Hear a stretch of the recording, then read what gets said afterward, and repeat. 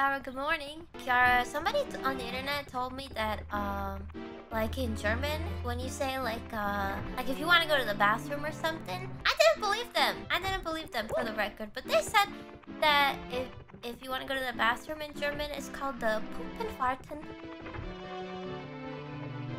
Yeah, I don't think that's true. It's not even close to being correct. Okay, I think they I think they were just messing around probably. And I shouldn't have believed not true. Oh, it, is correct. Oh, sorry, my eyesight is not so good. Oh, it's 100% true. Okay, okay, next time I gotta take a break.